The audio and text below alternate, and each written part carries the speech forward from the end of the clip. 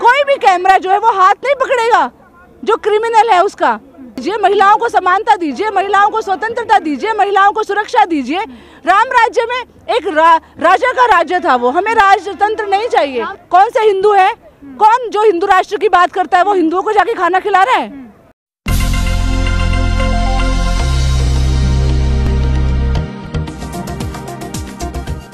स्वागत है आपका जनहित आवाज़ में। मैं हूँ आपके साथ पूजा और आज यहाँ संसद मार्ग पे जो धरना प्रदर्शन करी जा कर रही हैं महिलाएँ और ये प्रोफेसर्स भी हैं कुछ एनजीओ से रिलेटेड भी हैं। तो मैम सबसे पहले तो ये बताइए कि 16 दिसंबर ये दिन भुलाया नहीं जा सकता है। आज आप लोग एकत्रित हुए हैं क्या कुछ मतलब मुद्दा लेकर के आप लोग एकत्रित हुए हैं? नाम क्या है आपका मैम? मेरा नाम ऋतु कौशिक है और हम आज जो मुद्दा लेकर इकट्ठे हुए हैं वो यही है कि निर्भया कांड को 10 साल पूरे हो गए। लेकिन अभी भी रोज रोज जो है निर्भयाएँ पैदा हो रही हैं। रोज रोज महिलाओं पर जो है वो अत्याचार हो रहे हैं। अ, कोई एसिड अभी दिल्ली के अंदर ही दो दिन पहले एसिड अटैक की घटना हुई है।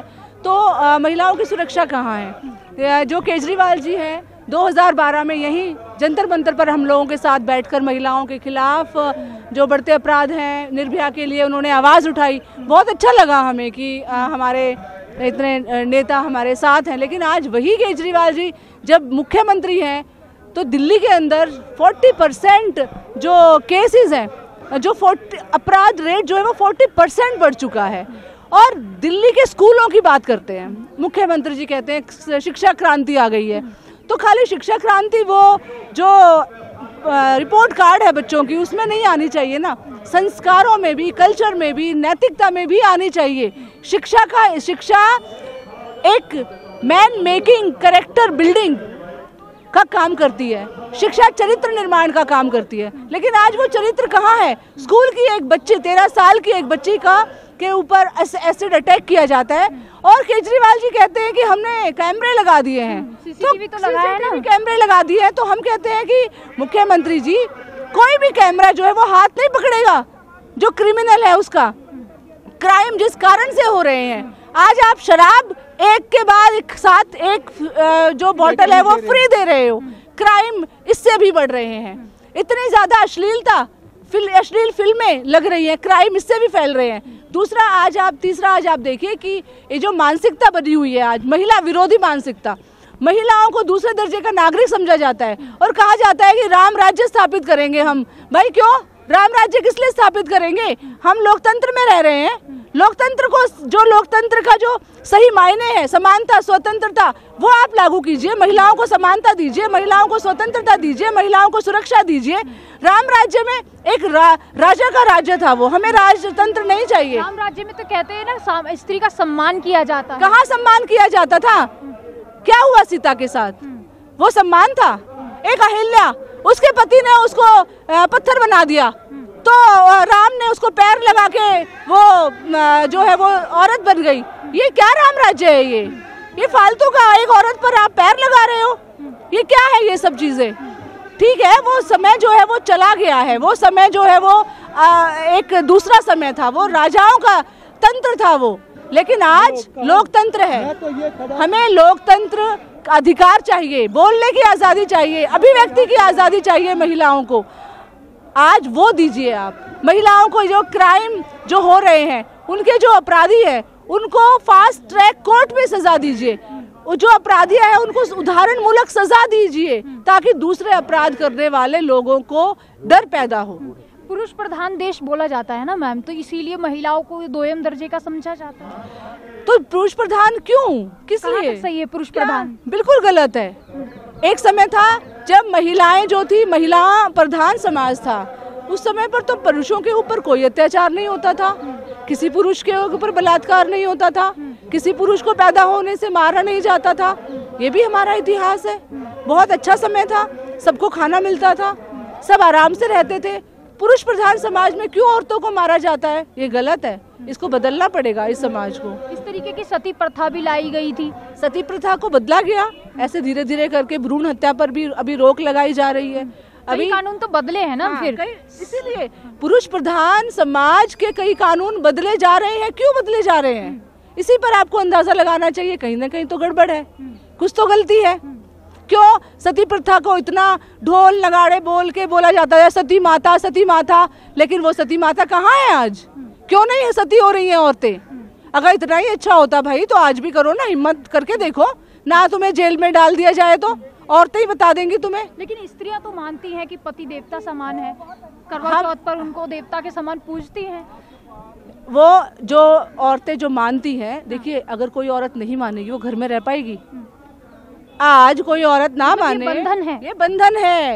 ये संस्कार दिए जाते हैं औरतों को पैदा होते ही कि बेटा तुझे अपने पति को परमेश्वर मानना है उसकी पूजा करनी है उसके पैर छूने हैं। ये संस्कार जो है ना हमारी नसों में भर दिए गए हैं औरतों की। संस्कृति है ना मैम? ये, ये संस्कृति देखो संस्कृति अलग है संस्कृति बदलती रहती है। संस्कृति कभी स्टैटिक नहीं होती। मैम इस तरीके का बोल रही है भावनाएँ आहत हो जाती हैं आपको पता है भावनाएँ आहत बहुत जल्दी हो जाती हैं लोगों की। देखिए भावनाएँ आहत करने का हमारा कोई उद्देश्य नहीं है। हम किसी की भावना आहत नहीं करना चाहते लेकिन जो सच्चाई है सच भावना तो आहत उस समय पे बड़ी हुई थी जब गैलील जब ब्रूनो ने कहा था कि भाई पृथ्वी जो है वो घूमती है सूरज नहीं घूमता है तो लोगों की कितनी भावनाएँ आहत हो गई थी। लोगों ने उनको ज़िंदा जला दिया था। तो इससे क्या हो गया? आज सच्चाई तो आई ना सामने। सच्चाई तो यही है कि जो पृथ्वी है वही घूमती है, सूरज का चक्कर लगाती है। तो बात यही है कि आदमी पति है। वो वो भी उतना ही सम्माननीय है जितनी पत्नी है, दोनों का सम्मान बराबर होना चाहिए। पुरुष परमेश्वर नहीं हो सकता। वो औरत का भाग्य विधाता नहीं हो सकता। आज कितनी औरतें हैं जो अपना घर अपने बलबूते पर चला रही हैं। तो अगर आदमी भाग्य विधाता होता तो क्यों इतने आदमी हैं जो नशा करके बैठे रहते हैं, कुछ काम नहीं करते हैं? औरतों बच्चों को पालती है बच्चे भूखे हैं वो माँ को ही बोलते हैं। कभी भी पिता को नहीं बोलते। बच्चों को पढ़ाना है वो भी ज़िम्मेदारी माँ की है। एक पिता मर जाता है मान लो कुछ हो जाते हैं घटनाएँ दुर्घटनाएँ। माँ अपने सारे बच्चों को संभाल लेती है लेकिन पिता के लिए कितना मुश्किल होता है। तो आदमी और औरत दोनों बराबर हैं। मैम आपको सेक्युलर बता दिया जाएगा आप इस तरीके से बता रही हैं। सेक्युलर मैं तो हूँ मैं तो सेक्युलर ही हूँ बिल्कुल। मैं सेक्युलर होना सबका, सबको सेक्युलर होना चाहिए। सेक्युलर का मतलब धर्म निरपेक्ष। हमें किसी धर्म से विशेष प्यार नहीं है। हमारे लिए सब धर्म बराबर हैं। हम सब धर्मों का सम्मान करते हैं। हम सब धर्मों को मानने वालों का सम्मान करते हैं। और हमारा देश तो सेक्युलर देश है। हमारा देश का जो संविधान है, उसका आधार तो सेक्युलरिज्म है ना। सबसे ऊपर लिखा हुआ है। सेक्युलर वर्ड सम- हटाया जा रहा है समा तो ये हट कौन हटाया जा रहा है? आप चाहते हैं हटाना? काफ़ी लोग यहाँ पर प्रदर्शन कर रहे थे मैंने खुद उनकी यहाँ पर जो है कवर किया है। देखिए हमारे देश के जो पहले प्रधानमंत्री जी थे ना वो प्रधानमंत्री जी जब एक घटना बता रही हूँ मैं अ, मतलब एक व्यक्ति के रूप में सिर्फ़ अपने प्रधानमंत्री जी के बारे में बता रही हूँ उनकी आइडियोलॉजी के बारे में भी हम चर्चा नहीं कर रहे हैं। हमारे प्रधानमंत्री जी थे देश के जवाहरलाल नेहरू जी। उस समय पर राष्ट्रपति थे म, ये राजेंद्र प्रसाद जी। तो उस समय पर गुजरात के अंदर एक मंदिर सोमनाथ मंदिर का उद्घाटन किया जा रहा था।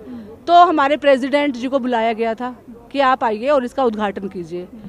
हमारे प्रधानमंत्री जवाहरलाल नेहरू जी ने उनको पत्र लिखा कि आप मत जाइएगा। क्योंकि आप एक संवैधानिक पद पर बैठे हुए हैं।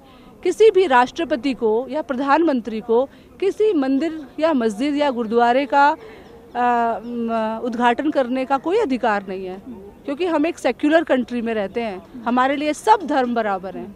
हमारे लिए हिंदू धर्म भी वैसा ही है, मुस्लिम भी वैसा ही है, क्योंकि हम हर दे, हर धर्म की जनता की वोट से प्रधानमंत्री बनते हैं। उन्होंने उनको मना किया। आज नेहरू जी को देश निकाला बता दिया जाता है। जवाहरलाल नेहरू यूनिवर्सिटीज पर जो है सेक्युलर का ठप्पा लगा दिया गया है। कौन किसी को कुछ बताने से कुछ नहीं होता। इतिहास गवाह है हर चीज़ का। इतिहास जो है वो सबसे बड़ा प्रूफ है हमारे पास। तो नेहरू जी जैसे लोग हमारे देश के प्रधानमंत्री रहे हैं। नेताजी सुभाष चंद्र बोस आज अगर हम कुछ चंद सेक्युलर लोगों की गिनती करें तो उसमें सबसे पहले नंबर आता है नेताजी सुभाष चंद्र बोस का ईश्वर चंद्र विद्यासागर का ये दो नाम आते हैं। उन्होंने अपनी ज़िंदगी में सेक्युलरिज्म को एक्चुअल सेंस में प्रैक्टिस किया। नेताजी सुभाष चंद्र बोस ने जो सेना बनाई थी आईएनए उस आईएनए में आप बता नहीं सकते थे कौन मुस्लिम है कौन हिंदू है। वो वो एक साथ बैठ कौन शुद्र है कौन ब्राह्मण है सबको एक साथ बैठकर खाना दिया जाता था सबकी एक किचन में सबका खाना बनता था। तो सेक्युलर तो हमारे देश की फाउंडेशन है। इसको कोई नहीं बिगाड़ सकता। आज जो, और सेक्युलरिज्म और लोकतंत्र, समाजवाद, ये तीन हमारे समाज, हमारे लोकतंत्र के आधार हैं। तो आज सबसे बड़ा जो कुठाराघात हो रहा है वो दो चीज़ों पर। समानता, स्वतंत्रता और भाईचारा जो लोकतंत्र का जो सबसे मज़बूत जो आधार है आज लोकतंत्र को खत्म किया जा रहा है क्योंकि लोगों को आपस में लड़ाया जा रहा है। जो भाईचारा है उसको खत्म किया जा रहा है धर्म के नाम पर। ये धर्म की जो राजनीति है ना ये नहीं चलेगी इस देश के अंदर। कैसे खत्म होगी फिर मैम ये? जनता एकता जनता की एकता कायम होगी। जैसे किसान आंदोलन लड़ा गया एक होकर। हिंदू मुस्लिम कोई कौन था बताइए? ये हिंदुओं का आंदोलन था क्या? तो हिंदू राष्ट्र बन रहा है ना किसान आंदोलन हिंदुओं का किसान आंदोलन था क्या? मुस्लिमों का था सिख का था। नहीं ना हिंदुस्तान का आंदोलन था वो हिंदुस्तान के किसानों का आंदोलन था। ऐसे ही हर आंदोलन लड़ा जाएगा। शाहीन बाग का आंदोलन इस देश की महिलाओं का आंदोलन था। वो मुसलमानों का आंदोलन नहीं था। उसमें हम भी थे हिंदू भी थे मुस्लिम भी थे सिख भी थे ईसाई भी थे सारी महिलाएँ वहाँ पर थी। ऐसे ही हमें आज एकजुट होकर जाति, धर्म को सेकेंडरी रखकर, धर्म सबका अपना मामला है। सबको अपने धर्म को प्रैक्टिस करने का पूरा पूरा अधिकार है। हमें हर धर्म को सम्मान करना चाहिए। लेकिन हम सबके हित जुड़े हुए हैं। आज महँगाई हिंदू के लिए भी है, मुस्लिम के लिए भी है, सबके लिए महँगाई है, बेरोजगारी सबके लिए आज भूखमरी का शिकार हिंदू भी हो रहे हैं। कौन से हिंदू है? कौन जो हिंदू राष्ट्र की बात करता है, वो हिंदुओं को जाके खाना खिला रहा है? कोरोना पीरियड में क्या हालत हो गई है? आप देख रहे हो, फैक्ट्रियाँ बंद हो गई हैं, कारखाने बंद हो गए हैं। बेरोजगारी जो है वो अपने चरम पर आ चुकी है, लेकिन आज हिंदू परिवार भूखे मर रहे हैं। कौन हिंदू आदि उनको खाना खिला रहा है, जाके बताइए तो। राशन व्यवस्था का कितना हाल कर दिया कि गरीब आदमी आज किस तरीके से राशन लेकर अपना पेट पाल लेता था, लेकिन आज वो ज़रिया भी बंद किया जा रहा है। राशन व्यवस्था को भी बंद किया जा रहा है। संसद के अंदर जो बलात्कारी हैं क्रिमिनल्स हैं, वो बैठे हुए हैं आज। और वो बात करते हैं हिंदू राष्ट्र बनाने की। अरे, पहले अपने लोगों को खाना तो खिला दो। कोई भी राष्ट्र धर्म के नाम पर प्रगति नहीं कर सकता। हम सबको इसीलिए आज ज़रूरत है, चाहे वो महिलाओं पर अपराध का मामला हो, चाहे बेरोजगारी का मामला हो, चाहे शिक्षा जो आज कम होती जा रही है, महँगी होती जा रही है शिक्षा, उसका मामला हो, गरीबों की पहुँच से शिक्षा दूर हो रही है। इन सबके जो समस्याएँ हैं, हम सबको इकट्ठा होकर आंदोलन करना होगा, आवाज़ उठानी होगी, यही एक रास्ता है। चलिए, बहुत बहुत शुक्रिया। तो ये देखिए किस तरीके की विडम्बना है कि लोगों को आज सड़कों पर उतरना पड़ रहा है न्याय के लिए, कि एक किसी के साथ जघन्य अपराध हो जाता है, बलात्कार जैसी घटना को अंजाम दे दिया जाता है, लेकिन उसके लिए लोगों को न्याय पाने के लिए रोडों और सड़कों पर उतरना पड़ता है। आज इसीलिए यहाँ पर ये महिलाएँ एकत्रित हुई, जो हमेशा से प्रोफेसर और शिक्षा भी देती आई हैं, हमेशा से एनजीओ से जुड़ी रही हैं, सामाजिक कार्यकर्ता हैं, समाज के लिए हमेशा से आवाज़ उठाते आए हैं। तो आज महिलाओं के इस मुद्दे को लेकर के आज इन्होंने यहाँ पर बुलंद और प्रचंड प्रदर्शन किया। लेकिन सबसे बड़ी बात यह है कि आज 16 दिसंबर को जिस तरीके की घटना को अंजाम दिया गया था, उसके लिए आज महिलाओं को कहाँ पर अपने आप को महिलाएँ देखती हैं, क्या बदलाव हुए हैं? आखिर ये देश क्या इसी तरीके से चलेगा? क्या इसी तरीके से जो है न्याय के लिए लोगों को लड़ना पड़ेगा? अंतिम सांस तक जो न्याय पाने के लिए चप्पलें तक घिस देते हैं न्यायालयों में जाते जाते उनको न्याय नहीं मिल पाता क्या इसी तरीके से देश चलेगा? सबसे बड़ी बात है ये। तो इसी के साथ देखते रहिए, जनित आवाज़, मेरे सहयोगी धर्मेंद्र के साथ में पूजा, संसद मार्ग, दिल्ली।